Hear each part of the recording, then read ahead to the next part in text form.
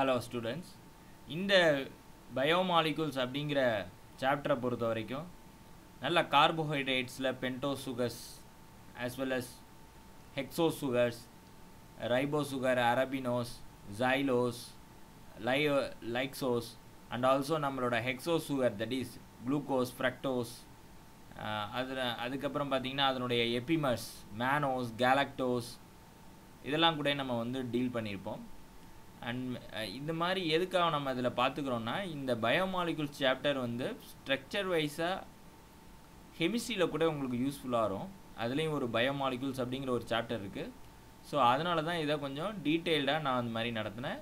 அதே மாதிரி ப்ரோட்டீனில் பார்த்தீங்கன்னா உங்களுக்கு ரொம்ப கம்மியாக தான் இருக்கும் புக்கில் ஆனால் இதில் நம்ம பார்த்துருக்கிறது பார்த்தீங்கன்னா அமினோ ஆசிட்ஸில் இருபது டைப் ஆஃப் அமினோ ஆசிட்ஸோட ஸ்ட்ரக்சர் என்ன?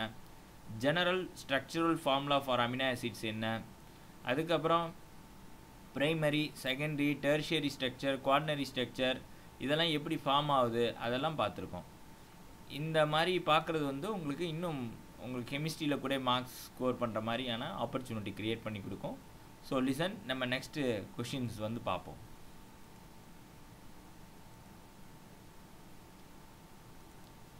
The first question is which group among the following consist of non-essential amino acids only? Uh, இப்போ இதுக்கு முன்னாடி நம்ம அமினோ ஆசிட்ஸில் பேசிக் அமினோ ஆசிட்ஸ் என்ன? அசிடிக் அமினோ ஆசிட்ஸ் என்ன? அந்த மாதிரி பார்த்தோம். சல்ஃபர் கண்டைனிங் அமினோ ஆசிட்ஸ் என்ன? அந்த மாதிரி பிரித்தோம். இப்போ வந்து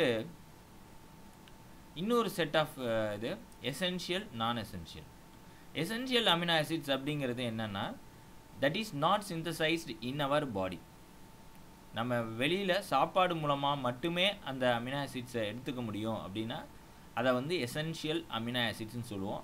நான் எசென்ஷியலுங்கிறது நம்ம உடம்பே நம்ம உடம்புக்குள்ளே சாப்பிட்ற சாப்பாடு மூலமாக சாப்பாடு மூலமாக மட்டும் இல்லை சாப்பாடு மூலமாக எடுத்துக்கிறது எசென்ஷியல் அமினோ ஆசிட்ஸ் மற்ற அதர் ஆக்டிவிட்டீஸ் மூலமாக அதனுடைய பை ப்ராடக்ட்ஸாக நிறைய அமினோ ஆசிட்ஸ் வந்து நம்ம ஃபிசியாலஜிக்கல் சேஞ்சஸ் மூலமாக நம்ம உடம்புக்குள்ளேயே ப்ரொடியூஸ் ஆகும்.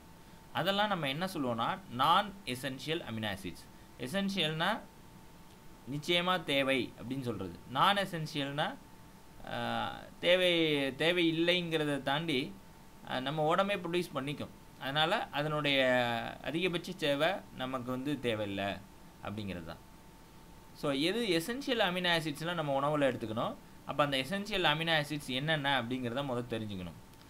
அப்போ non essential essential amino acids so non essential amino acids வந்து can be synthesised by human body அதே எசென்ஷியல் அமினோ ஆசிட்ஸ் வந்து cannot be synthesised our by our body இப்போ இந்த அமினோ ஆசிட்ஸை நான் ரெண்டாக பிரிச்சிட்டோம். ஒவ்வொரு அமினோ ஆசிட்ஸையும் நீங்கள் தெரிஞ்சிக்க வேண்டியது ரொம்ப அவசியம். நம்ம முன்னாடியே ஃபார்முலாலாம் படிச்சிருந்தா கூட ஒரு இருபது அமினோ ஆசிட்ஸை டக்குன்னு ஞாபகம் வச்சுக்கிறதுக்கு ஒரு சின்ன ஷார்ட்கட் வந்து பார்ப்போம். அதில் எசென்ஷியல் அமினோ ஆசிட்ஸ்க்கு நான் ஒரு ஷார்ட்கட் கொடுக்குறேன். பார்த்தீங்கன்னா அலனைன் ஏலே வந்து உங்களுக்கு ஏவை ஞாபகம் வச்சிங்கனாலே நாலு அமினோ ஆசிட்ஸ் வந்துடும் alanine arginine asparagine aspartate so ஏவை வச்சு நாலு இது வச்சுக்கலாம். அண்டு ஜியை வச்சு மூணு இது வந்துடும் ஒன்று கிளைசின் இன்னொன்று குளூட்டமேட் இன்னொன்று குளூட்டமைன் ஸோ இந்த மூணு அமினோ ஆசிட்ஸுமே என்னென்னா ஜியில் வர்றது. சியில் வந்து cystine and PST proline serine and tyrosine so இந்த மூணு இதுவும் நீங்கள் ஞாபகம் வச்சுக்கிட்டு இருப்பீங்க ஏ நாலு ஜியில் வந்து மூணு சிஸ்டீனில் ஒன்று அப்புறம் PST proline serine and tyrosine simple இப்போ எசென்சியல் அமினோ ஆசிட்ஸ் அப்படின்னு பார்க்கும்போது என்னென்ன வருது அப்படிங்கிறத பார்ப்போம். நான் இதை எப்படி ஞாபகம் வச்சுக்க சொல்லுவேன்னா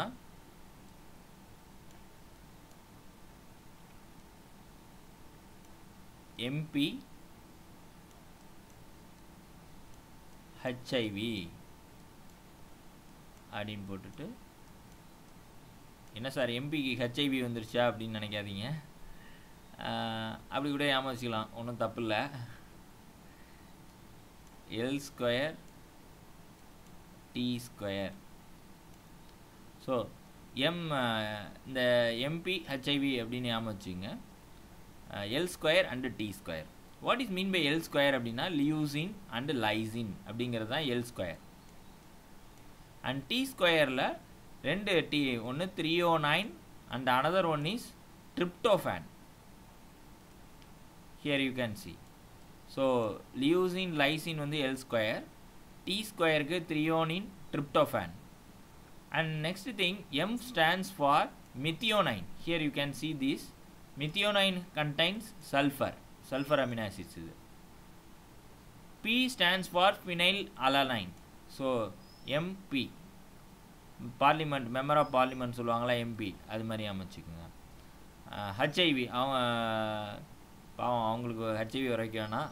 இருந்தாலும் உங்களுக்கு யாமம் வச்சுக்கிறதுக்கு அந்த மாதிரி யாமம் வச்சுங்க. ஹச்ஐவி அப்படின்னு வைரஸ் ஹிஸ்டிடின் ஃபஸ்ட்டு ஹச்சுக்கு ஐக்கு வந்து isoleucine so second one விக்கு வந்து வேலைன் இந்த லாஸ்ட் ஒனில் இருக்குது பாருங்கள் here you can see so MP HIV L square T ஸ்கொயர்லேயே எல்லாமே வந்துடும் M stands for methionine P for phenylalanine H stands for histidine I stands for isoleucine V stands for valine H எல்லை பொறுத்த வரைக்கும் lysine லியோசின் டீயை பொறுத்த வரைக்கும் threonine tryptophan இது ஒரு ரெண்டு தடவை மூணு தடவை நீங்கள் பார்த்தா தான் உங்களுக்கு ஈஸியாக ஞாபகம் வரும். அந்த மாதிரி படித்து வச்சுக்கோங்க.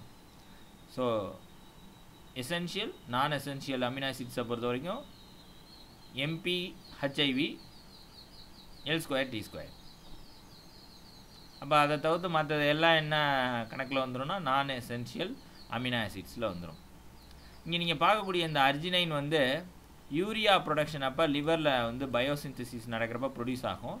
ஆனால் மீகர் அமௌண்ட் தான். We need that by taking the food அதனால தான் என்னென்னா இதை வந்து கண்டிஷ்னலாக நடுவில் வச்சுருப்பாங்க. எசென்ஷியல் நான் எசென்ஷியலில் ஆனால் எசென்ஷியலும் அது நம்ம வந்து அதில் ப்ரொடக்ஷன் ஆகிற அமௌண்ட் வந்து ரொம்பவே கான்சன்ட்ரேஷன் கம்மி வி நீட் டு அந்த மாதிரி அர்ஜினைன் வந்து ப்ரொடக்ஷன் இருக்கும் ஆனால் லோயர் அமௌண்ட்டில் next question select the correct statement regarding the nucleic acids so the first these are long chain micromolecules see this is not micromolecules ஆக்சுவலாக மைக்ரோ மாலிகுல்ஸ் அப்படிங்கிறது இந்த Dalton சொல்லுவாங்க இல்லையா அந்த பதினெட்டுலேருந்து எண்ணூறு டால்டன் சொல்லுவாங்க. அந்த டால்டனுக்குள்ளே ஸ்மால் தௌசண்ட் டால்டன்ஸ்குள்ளே இருந்துச்சுன்னா that is call micro molecules அதே அதுக்கு மேலே இருக்கும் பட்சத்தில் அதெல்லாம் என்ன சொல்லுவோம்னா மேக்ரோ மாலிகுல்ஸ்னு சொல்லுவோம். இப்போ இதெல்லாம் வந்து எதில் வரும் அப்படின்னா மேக்ரோ மாலிகுல்ஸில் வரும். ஓகே ஆனால் இவங்க என்ன சொல்லிட்டாங்க? லாங் செயின் மைக்ரோ மாலிகுல்னு சொல்லிட்டாங்க. அதான் இங்கே வந்து பிரச்சனையே. இது correct formed by polymerisation of nucleotides நியூக்ளியோடைட்ஸோட பாலிமரைசேஷனில் தான் இந்த லாங் செயின் நியூக்ளிக் ஆசிட்ஸ்லாம் ஆயிருக்கு. தட் இஸ் ரைட் பட் ஆனால் மைக்ரோ மாலிகூல்ஸ் அப்படின்னு சொன்னது the wrong statement next statement பாருங்கள் the backbone of DNA strand is made up of deoxy ribo sugar and phosphoric acid இது எந்த அளவுக்கு கரெக்டுன்னு பார்த்துருவோமா? Here you can see this is the RNA this is DNA நம்மளோட டிஎன்ஏல இப்படி தான் double helical structure இது ஒரு helix and here you can see the another helix இந்த ஹிலிக்ஸில் நம்ம பார்க்கும் பொழுது ஏ டீன்னு பாண்டிங் ஆயிருக்கா? பார்த்தீங்கன்னா A will pair with T by using double bond ரெண்டு பாண்டு இருக்கும். ஹைட்ரஜன் பாண்டு அதே ஜிக்கும் சிக்கும் பேரிங் நடக்கும் அப்படின்னு படிச்சிருப்பீங்க. இது வந்து என்னென்னா குவானைன் சைட்டோசைனுக்கு இடையில் மூணு ட்ரிபிள் பாண்டு த்ரீ பாண்ட்ஸ் வந்து இருக்கும். ஸோ சர்காஸ் ரூல் படி ஸோ அந்த கொஷின் கேட்டாலும் you can able to answer the question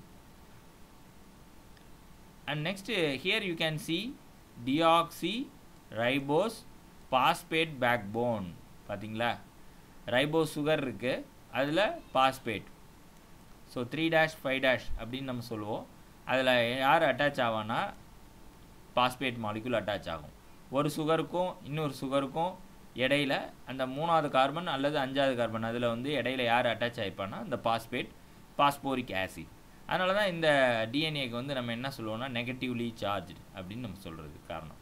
acid nucleic ஆசிட்னு தான் சொல்லுவோம். So this is because of the presence of this phosphoric acid here deoxy ரைபோஸும் இந்த phosphoric acid தான் கிட்டத்தட்ட எப்படி இருக்குது பேக் போன் மாரி இருக்கா? அதனால் நம்ம என்ன சொல்லலாம்னா டியாக்சி ரைபோஸையும் phosphoric ஆசிடையும் we can say that it is the backbone of DNA strand. It is the right strand. And two DNA chains are identical. இது இருக்க முடியுமா? இப்போ இது இங்கேயும் வந்து ஏ இருக்குது அப்படின்னா என்ன அர்த்தம்? ரெண்டுமே ஐடென்டிக்கல் இங்கேயும் ஏ இருக்குது அப்படின்னா இங்கேயும் ஏ இருக்குது ஏக்கும் ஏக்கும் இடையில முதல் பாண்டிங்கே ஃபார்ம் ஆகாது. ஏக்கும் டீக்கும் தான் காம்ப்ளிமெண்ட்ரி அப்போ இந்த ஸ்டேட்மெண்ட் வந்து கரெக்டாக என்னன்னு நீங்களே பார்த்துக்க வேண்டியது. டூ டிஎன்ஏ செயின்ஸ் வந்து கண்டிப்பாக ஐடென்டிக்கலாக இருக்கிறதுக்கு வாய்ப்பில்லை. RNA is Feulgen positive this is also wrong so the answer is double stranded டிஎன்ஏயில் நம்மளோட backbone deoxy ribo sugar and phosphate next question in this ribo sugar of RNA இப்போ ribo சுகரில் RNA and unlike DNA every nucleotide residue has an additional இப்போ வந்து RNA DNA ரெண்டுத்துலேயும் வந்து sugar molecule ribo sugar இருக்கிறது நமக்கு தெரியும். அது ரெண்டுத்துக்கும் இடையில என்ன டிஃபரன்ஸுங்கிறத தான் அவங்க கேட்டிருக்காங்க இப்போ. டிஎன்ஏல ஒன்று இருக்காது. ஆர்என்ஏல ஒன்று கூட இருக்கும் ரைபோ சுகரில் அது என்ன அப்படின்னு கேட்டிருக்காங்க. ஸோ இப்போ நம்ம அந்த ஸ்ட்ரக்சரை பார்த்துட்டோம்னா we can say the answer here you can see this this is deoxy ribose அதாவது டிஎன்ஏல இருக்கக்கூடியது டியாக்சி ரைபோ சுகர்னு பேர். அதே நீங்கள் ஆர்என்ஏல இருக்கக்கூடியது பேர் ரைபோஸ்னு பேர். இதோட ஃபர்ஸ்ட் கார்பனில் என்ன இருக்குன்னா நியூக்ளியோடைடை பொறுத்த வரைக்கும் பேஸ் வந்து அட்டாச் ஆகிருக்கும் that is adenine guanine or cytosine adenine guanine cytosine அல்லது தைமின் இங்கே வராது யுரேசில் ஏன்னா ஆர்என்ஏல இங்கே வந்து தைமின் வரும். ஸோ இந்த ஃபஸ்ட் கார்பனில் தான் ரெண்டுத்துலேயும் அட்டாச் ஆகிருக்கும் அதேமாரி இங்கே அஞ்சாவது கார்பனில் என்ன அட்டாச் ஆகிருக்குன்னா பாஸ்பேட் மாலிகுல் அதுக்கு அடுத்த இருக்கக்கூடிய நெக்ஸ்ட் இன்கமிங் வர்றதில் வந்து த்ரீ டேஷ் எண்டில் அட்டாச் ஆகிருக்கும் so five dash to three dash end அப்படின்னு சொல்கிறதே நம்ம இந்த சுகர் மாலிகுல் அட்டாச்மெண்ட்டை வச்சு தான் இந்த சிமிலாரிட்டி சே சேம் தான் வந்து இங்கேயும் நம்மளுக்கு ஆர்என்ஏக்கும் சரி. So three dash to five dash ஏன்னா த்ரீ டேஷ்லேயும் ஃபைவ் டேஷ்லேயும் பாஸ்போ பாஸ்போரிக் ஆசிட் இருக்குல்லையே அந்த பாஸ்பேட் அட்டாச் ஆகும். இந்த விஷயம் நம்ம தெரிஞ்சுக்கணும். இப்போ இந்த ரைபோ சுகரில் என்ன சார் வித்தியாசம்? ரைபோசோம் ஆர்என்ஏல இருக்கக்கூடிய இந்த ரைபோ சுகரும் டிஎன்ஏல இருக்கக்கூடிய ரைபோ சுகரும் என்ன ஒரு வித்தியாசம் அப்படின்னு பார்த்தோம்னா you can see the second carbon of the both இது ஃபஸ்ட்டு கார்பன் இது second carbon here you can see OH ஆனால் இங்கே என்ன இருக்குது பாருங்கள் செகண்ட் கார்பனில் ஹச் மட்டும். அதுக்கு தான் இந்த name itself indicate deoxy அப்படின்னா என்ன அர்த்தம்? ஆக்சிஜன் வெளியில் ஓடி போயிட்டு எதுலேருந்து? ரைபோஸ்லேருந்து அதனால தான் டிஆக்சி ரைபோ சுகர் ஸோ ரைபோஸில் ஓஹெச் இருக்குது ஆக்சிஜன் இருக்குது அந்த ஆக்சிஜன் இங்கே என்ன ஆகிட்டு ஓடிட்டு. அதனால தான் டிஆக்சி அப்படின்னா ஆக்சிஜன் வெளில போயிட்டுன்னு அர்த்தம். ரைபோ சுகர் இது எந்த பொசிஷனில் second கார்பனில் so this is the difference between deoxy ribo sugar and RNA ribo sugar அதாவது டிஎன்ஏ இது வந்து ஆர்என்ஏ இப்போ இன்னொரு விஷயம் வந்து உங்களுக்கு நான் இது பண்ண சொல்கிறேன் இன்னொரு விஷயம் எக்ஸ்பிளைன் பண்ணுவோம். ஆர்என்ஏ ஸ்டேபிளா டிஎன்ஏ ஸ்டேபிளா அப்படின்னு ஒரு கொஷின் கேட்பாங்க. ஆர்என்ஏதை வந்து less stable whereas DNA is more stable அப்படின்னு சொல்லுவோம். அதாவது டிஆக்சி ரைபோ சுகரை கொண்ட டிஎன்ஏ மோர் ஸ்டேபிள்னு சொல்லுவோம். ரைபோ சுகர் வந்து லெஸ் ஸ்டேபிள்னு சொல்லுவோம். ஏன் அப்படின்னு பார்த்தீங்கன்னா இந்த ஓஹெச் இருக்கிறதுனால இந்த ரைபோ சுகரில் அரண்யில் இருக்கக்கூடிய ரைபோ சுகர் வந்து உடனே ரியாக்ட் ஆகி இட் வில் ஃபார்ம் காம்பவுண்ட் அதனால் மோர் ரியாக்டிவ் ஆர்என்ஏ. ஓகேவா? வேற ஒரு காம்பவுண்டை ஃபார்ம் பண்ணிடும். அதே டிஎன்ஏ பார்த்தீங்கன்னா இங்கே ஓஹெச் ஓ இல்லாதனால எப்பொழுதுமே ஓஹெச் இருந்துச்சுன்னு வச்சுங்க டக்குன்னு ரியாக்ஷன் நடக்கும். ஸோ அந்த ஆக்சிஜன் இல்லாதனால லெஸ் ரியாக்டிவாக இருக்குது அண்ட் மோர் ஸ்டேபிள் யார் அப்படின்னா டிஎன்ஏ அதனால தான் nature has selected DNA as the nucleic acid அடுத்தடுத்த பெரிய பெரிய ஹையர் ஆர்கானிசத்துக்கெல்லாம் நம்ம பார்க்கும்பொழுது we can see the nucleic acid as DNA not as RNA அப்படிங்கிறது இதனால தான் நீங்கள் ஆர்என்ஏவை நான் லேபில் ஐசோலேஷன் பண்ணும் போது கூட நம்ம ரொம்ப நாளைக்கு ஸ்டோர் பண்ண முடியாது. It is less stable RNA அதே வந்து டிஎன்ஏ வந்து மோர் ஸ்டேபிள் மாத கணக்கில் கூட நம்ம வந்து பஃபரில் போட்டிருந்தோம்னா it will be there next question இன்னொரு வீடியோவில் நெக்ஸ்ட் கொஷின் வந்து பார்ப்போம்